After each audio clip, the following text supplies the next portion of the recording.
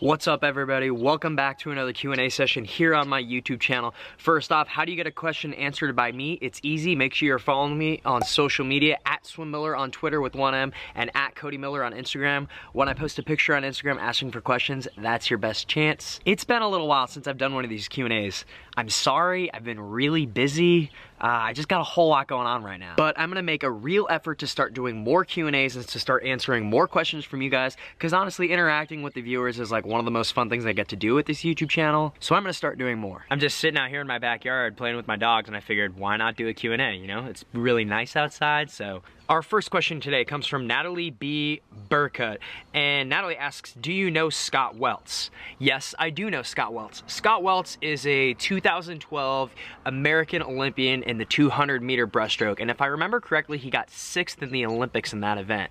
Um, I know the guy, super nice guy, really liked him. I remember watching that guy at Olympic trials in 2012 shock the entire United States by winning the 200 breaststroke at Olympic trials. He was next to two previous Olympians, two former Olympians in that event, uh, Brendan Hansen and Eric Shanteau. And from lane six, he took off on the third 50 and was too far ahead and no one could catch him. And he won that race. And I'll never forget watching that guy win that race because when Scott Weltz won the 200 breaststroke at Olympic trials, a guy no one had ever heard of, no one knew his name, no one expected him to make the Olympics, no one expected anything from him. Watching that guy win that event and then make the Olympics showed me that it was possible. You know, it gave me hope that maybe someday I would be able to make the Olympics.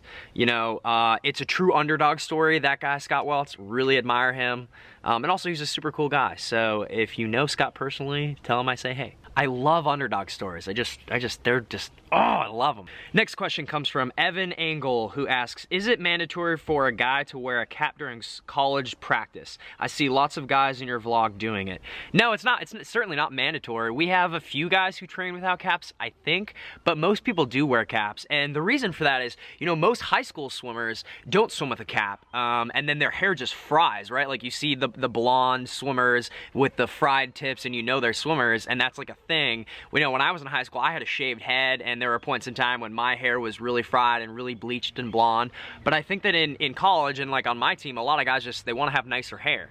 Um, they just, they don't want that bleached blonde hair look anymore, and so they just wear caps. You know, when I started swimming in college, I was like, you know what, I'm in college, I'm gonna do something different, I'm just gonna grow my hair out, and that's what I did. I just started wearing a cap. And so, no, to answer your question, it's not mandatory. I think guys just care about their hair on my team. Uh, next question comes from Tara Pedrew, who asks, what do you think about international students on college teams? Do you think they are good components for the team?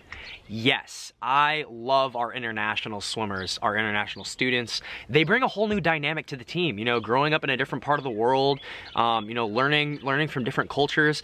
But to me, a lot of our international swimmers are our hardest working swimmers because you know they've come from places where they weren't necessarily given everything and where where education wasn't guaranteed and where a program a swim program that has all the facilities and all the resources that you could possibly want was never guaranteed. And they work their butt off man. You know I lived with an international student for three years. His name was Ahmad. He's from Egypt. He's a diver. You know he's an Olympic level diver. And that guy was one of the most hardworking most kind most team-oriented individuals.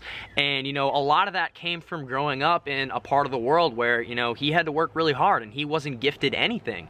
And I'm not saying by any means that other people on my team aren't like that. It's just that a lot of times for the international students, they come here and, and they know that they're here for their sport or for whatever and that it's their chance to, to kind of make the American dream happen, right? Where, you know, you're promised if you work hard, the results will come.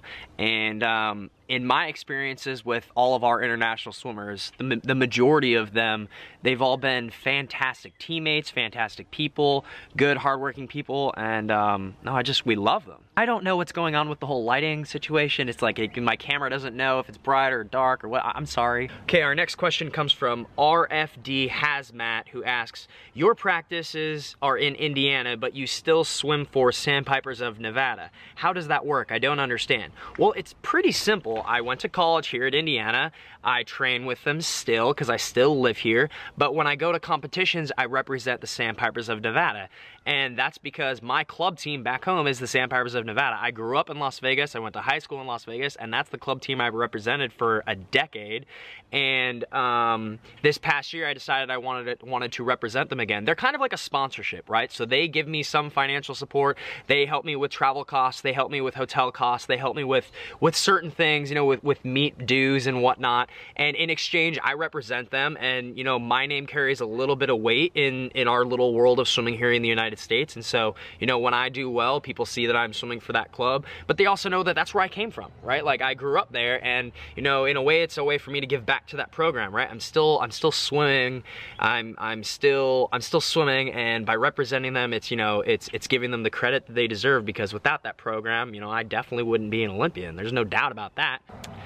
At, some major meets, like for at Olympic trials, for example, here in the United States, you're actually allowed to represent two teams. So when I swim at Olympic trials in 2020, um, there will be two names, two team names attached to my name. It will be Cody Miller representing Indiana University and Sandpipers of Nevada, which is pretty cool.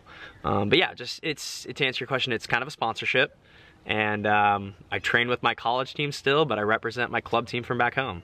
It's that simple. Colin Wong asks, what's the best way to practice dolphin kicking? Honestly, it's just doing it all the time, right? So here at Indiana, we have a kick out group where they do an entire practice specifically working on underwater kicks. They do underwater kick sets, but more important than that is the way that our coach, Coach Westfall, designs certain workouts. He'll write warm-ups where it's like 400 choice, 4 100s free, descend 1 to 4, 450s, to descend 1 to 4, but every set has a set number of dolphin kicks off the wall. So that 400, you have to have 4 dolphin kicks off of every wall. Those 4 100s, you have to have 6 dolphin kicks off every wall. Those four 50s, you have to kick out to 15 meters off of every wall. So it's just doing them all the time, routinely.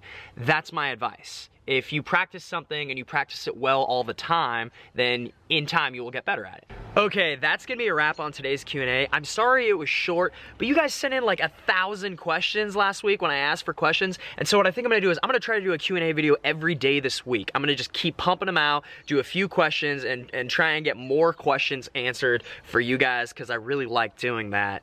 Yeah.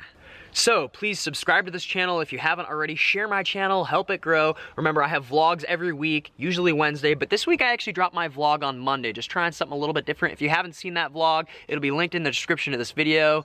Um, check that out.